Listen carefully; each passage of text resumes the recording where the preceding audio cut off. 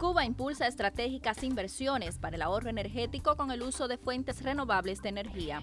La empresa eléctrica de la provincia de Las Tunas consolida importantes proyectos para este año. Dentro de su plan de inversiones está bueno, la construcción de la obra principal de los parques eólicos Herradura 1 y Herradura 2, la terminación de la construcción del parque solar fotovoltaico de Manatí 2, eh, es de 2,2 megawatts eh, lleva bueno, el montaje de 400 mesas que ya hoy están eh, terminadas, el montaje, eh, la colocación de 8.800 paneles, bueno, dos contenedores tecnológicos, la casa de control y que será sincronizado al sistema en los próximos días.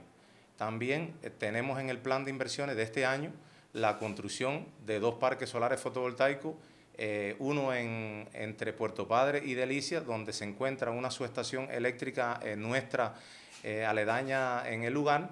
Este va a ser de 5 megawatts, va a ser el parque solar fotovoltaico más grande que vamos a construir en la provincia, así como otro parque solar fotovoltaico que también está en el plan entre Vázquez y Las Tunas, en, la zona del poblado de, La Visti. Resultados superiores a periodos precedentes muestra esta empresa Vanguardia Nacional con cero interrupciones por cada 100 kilómetros de líneas durante dos años.